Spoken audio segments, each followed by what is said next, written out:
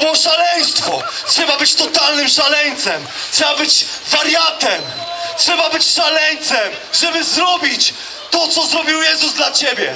Trzeba być totalnym szaleńcem, żeby człowiekowi, który go olał, który go ma w dupie głęboko, człowiekowi, który go totalnie olał, oddać swoje życie. Trzeba być totalnym krejzolem, trzeba być totalnym szaleńcem. Człowieku, zastanów się nad tym, co Jezus dla ciebie zrobił. Zastanów się nad tym.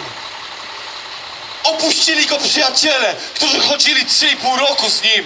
Chodzili, mówili, mój mistrzu, mój przyjacielu, życie za ciebie położę, oddam za ciebie życie, nigdy cię nie zostawię. Wszyscy spieprzyli spod krzyża. Wszyscy spieprzyli spod krzyża. Wszyscy.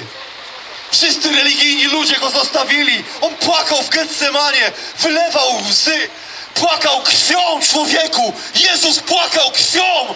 Powiedział, że pójdzie na krzyż. Pójdzie na krzyż za ciebie. Nie lekceważ tego, pokutuj. W imieniu Jezusa Chrystusa stoję do ciebie jako syn Boga żywego i mówię ci, pokutuj. Pokutuj ze swoich grzechów, bo idziesz do piekła, a ja tego nie chcę. Moje serce płacze. Moje serce płacze, bo wiem, co to jest piekło. Człowieku, pokutuj! Żyjemy w religijnym kraju, gdzie ludzie mówią do Jezusa rzeczy, o których nie mają pojęcia. Traktują go jako jakiegoś wychudziałego hipstera, wiszącego go na krzyżu, jako nic, popierdółkę. Jezusa nie ma na krzyżu! Jezus żyje! Jesus lives! Jesus lives! He raised up from death! The God Almighty came to the land. He gave His life for you people. Repent, repent. Człowieku, pokutuj ze swoich grzechów. Jeżeli raz pomyślałeś źle o drugim człowieku, jeden, jedyny raz, umarł, zasługujesz na śmierć. Zasługujesz na śmierć. Nie ma na ziemi żadnego jednego sprawiedliwego człowieka, bo wszyscy, wszyscy zgrzeszyli. Wszyscy. Papież, Maria, wszyscy. Jan Paweł II, Franciszek, każdy zgrzeszył i zasługuje na śmierć. Każdy musi pojednać się z Bogiem. Ja ci dzisiaj mówię, pojednaj się z Bogiem. Pojednaj się z Bogiem. Pojednaj się z Bogiem. Idziesz do piekła, chyba że oddasz swoje życie Jezusowi teraz. Kto chce się pojednać z Bogiem, z żywym Bogiem? Nie mówię ci o religii. Nie mówię ci o żadnej religii. Nie mówię ci o żadnym katolicyzmie, protestantyzmie i żadnym baptyzmie i innego tego typu pierdołach. Mówię ci o relacji. Bóg jest osobą. On cię bardzo kocha. On cię kocha. Jezus cię umiłował tak bardzo, że oddał za ciebie swoje życie. Ja w to uwierzyłem. Ja w to uwierzyłem. Przeprosiłem go za swoje życie.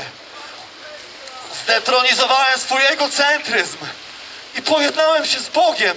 Zasnąłem i obudziłem się nowym człowiekiem. Nie mówię ci o religii. Ja sikam na religię. Religia to jest największa krzywda, która się stała dla tej ludzkości. Religia robi wszystko. Mówi wszystko, tylko nie prawdę o Bogu żywym.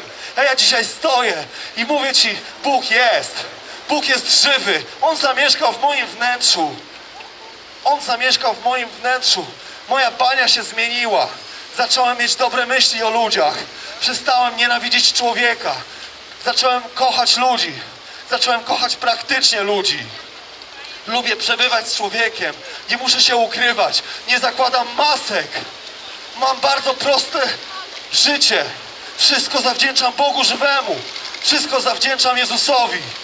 Temu Jezusowi z Nazaretu, który dwa tysiące lat temu chodził. Chodził po ziemi. Chodził po ziemi i prezentował moc z nieba. Prezentował Ojca, prezentował serce Ojca, kochał ludzi. Potem poszedł do nieba i powiedział, że każdy, kto uwierzy w tę prostą prawdę, że On umarł na krzyżu, żeby zapłacić cenę za to, co Tobie się należy. Tobie się należy, każdemu z nas. Uwierzy, że umarł właśnie za Ciebie. Pojedna się z Nim. Nie zginie na wieki. Ja nigdy nie umrę. Nigdy nie umrę. Śmierć mnie omija szerokim łukiem. Ja idę do nieba. Ja mam pewność, że idę do nieba, ponieważ uznałem tę prostą prawdę, że nie jestem w stanie nic dodać do krzyża. Po prostu przyjąć to, że Jezus umarł za mnie. Zrobił to dla mnie, prywatnie dla mnie. Uczyniłem Go Panem i Zbawicielem mojego życia, mojej duszy, mojego ciała. Przy okazji, pomijając to, że w duchu jestem zjednoczony z Bogiem, to ja odnoszę sukces i mam władzę nad moimi emocjami, nad moimi myślami, nad chorobą w moim ciele. Kilkakrotnie doświadczyłem uzdrowienia na swoim ciele. Modlę się o ludzi. Jeżeli masz jakąkolwiek chorobę, jeżeli teraz do mnie podejdziesz z rakiem, podejdziesz z białaczką, podejdziesz z depresją, ja tylko położę na ciebie swoje ręce. Pomodlę się krótko i zostaniesz uzdrowiony. Gwarantuję ci to. Jeżeli się z czymś borykasz, jeżeli jesteś zniewolony jakąkolwiek rzeczą, narkotykami, pornografią, jakimkolwiek zniewoleniem, podejdź teraz do mnie. Albo podejdź z boku, nie musimy tego nagrywać. Pomodlę się o ciebie, uwolnię cię od demonów. Uwolnię cię od duchów, które za tym stoją.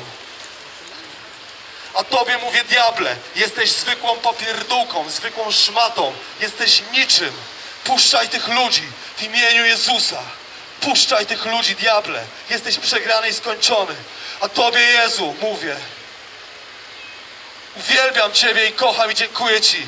Ja, Przemysław Więzik, tu w centrum stolicy kraju, tego obrzydliwie religijnego kraju, mówię Ci, że jesteś żywym Bogiem.